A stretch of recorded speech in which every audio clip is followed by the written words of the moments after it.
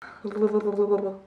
Studiekeuze. Misschien wel de belangrijkste keuze uit je leven. Er komen zoveel vragen op je af. Ga je naar het mbo, het hbo of de universiteit? Ga je uit huis? Blijf je thuis wonen? Ga je een voltijdstudie doen? Of toch deeltijd? Wil je bij een studentenvereniging? Of toch niet? En misschien wel de belangrijkste van allemaal. Wat word ik later? Word ik dierenarts? Of dokter? Advocaat? Timmerman? Word ik leraar? Of toch schoonheidsspecialist? De keuze is erg lastig. Ik ging eens kijken of internet erbij kon helpen. Na een tijdje zoeken vond ik studiekeuzetest, een lijst met opleidingen die de beste baangarantie hadden, welke school of universiteit het beste was, maar echt goed advies vond ik er niet. Zelf heb ik deze keuze ook een aantal jaar geleden moeten maken en ik vond het ook erg lastig. Ik bedacht me waar mijn kwaliteiten en interesses lagen. Ik vond eten, drinken en andere culturen altijd al fantastisch en ik werkte ook al een tijd in de horeca, maar een toekomst in de mediawereld, dat leek me ook echt fantastisch. Ik zat al jaren bij de schoolkrant en ik fotografeerde graag en ik wilde altijd al eens weten hoe het er achter de schermen bij een tv-programma aan toe zou gaan. Iedereen in mijn omgeving zei dat een carrière in de mediawereld voor heel weinig mensen was weggelegd. En na lang piekeren